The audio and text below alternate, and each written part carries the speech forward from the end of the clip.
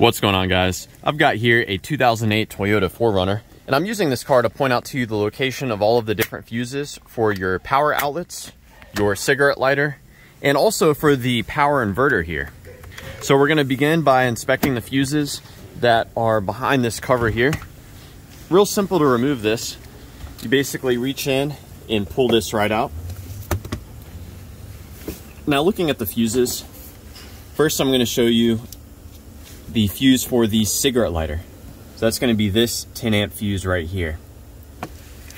Now what's cool about this fuse is it receives power from the ignition switch. So if you've changed this fuse and your cigarette lighter is still not working, you can check to see if it's receiving power. And if you do not see power coming in through at this fuse with the ignition switch turned to the on position, well then you know that your ignition switch is probably failing. There's some other fuses here that are useful.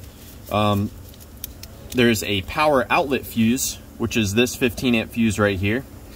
This actually provides power to the front and the rear power outlet. There's also an accessory fuse, which is this seven and a half amp fuse. Power from this fuse is needed to engage the relay that turns power to this fuse on. And that relay is built into this assembly here.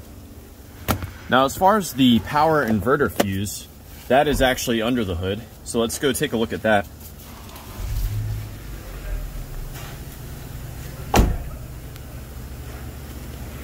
So over here on the driver's side, there's a fuse box. It's real simple to remove. There's a tab over here that you push in and then lift up. So the fuse for the inverter is this 15 amp fuse right here.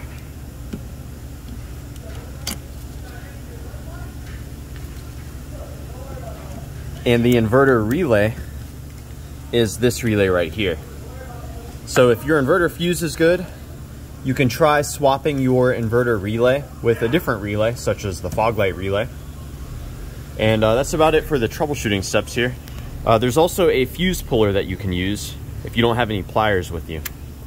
So yeah, I hope that this information was helpful for you, or at the very least was a good starting point in troubleshooting the power outlets on your Toyota 4Runner. If you have any questions, please feel free to leave them down below, and also leave any advice if you have any. Thanks for watching.